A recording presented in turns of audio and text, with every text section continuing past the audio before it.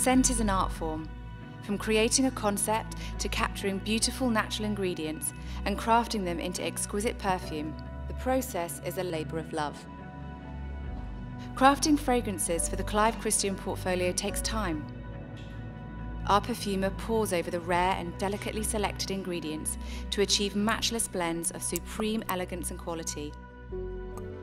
Building on ideas formulated over months, if not years.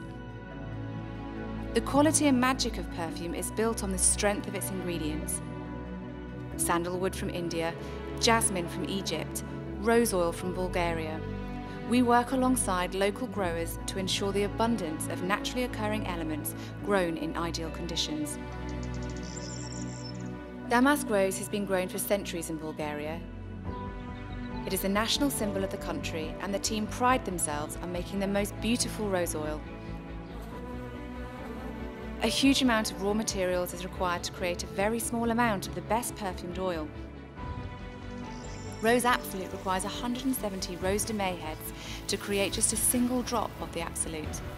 The careful extraction of fragrance oil from raw ingredients is a delicate and complex process. It must be undertaken slowly and with great skill to allow the purest, most fragrant oils to be collected. A beautiful scent deserves a beautiful bottle. Inspired by the original bottles of the Crown Perfumery, each bottle features the golden crown of Queen Victoria. The end result is a bespoke, handcrafted product, unrivaled in complexity, creativity, concentration, and the highest possible craftsmanship known to the world of perfumery.